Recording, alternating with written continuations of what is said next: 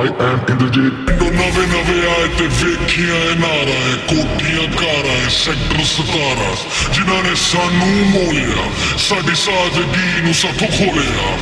ਹੁਣ ਭੁੱਲ ਗਏ ਹੁਣ ਭੁੱਲ ਗਏ ਹੁਣ ਭੁੱਲ ਗਏ ਹੁਣ ਭੁੱਲ ਗਏ I am in the jet I am in the jet I am energy.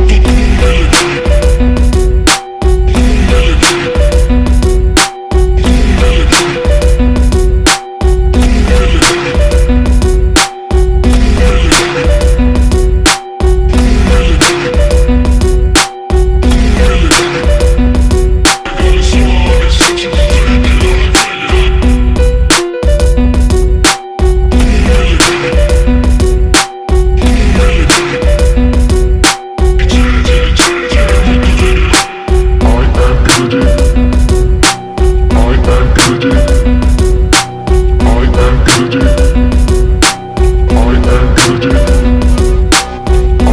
Bridget.